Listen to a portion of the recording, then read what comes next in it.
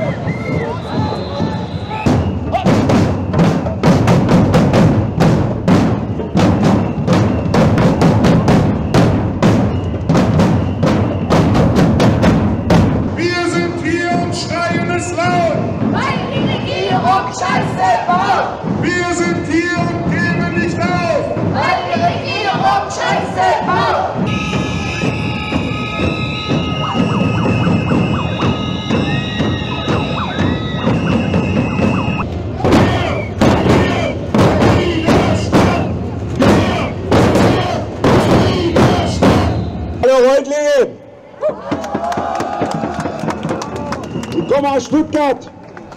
Wollte euch bloß kurz was zeigen. Vielleicht kennt das der eine oder andere Rentner von euch. Die Post kam heute ins Haus geflattert von Herrn Lauterbach. Das Gesundheitsministerium, der fordert mich auf, diese Giftspritzen abzuholen. Und das mache ich nicht mit. Was soll ich jetzt mit diesem Schreiben anfangen? Was? Soll ich mir mein Popo putzen? Das zurückschicken? Dort anrufen? Und sagen, die können sich das selber in den Arsch schieben? Jawohl!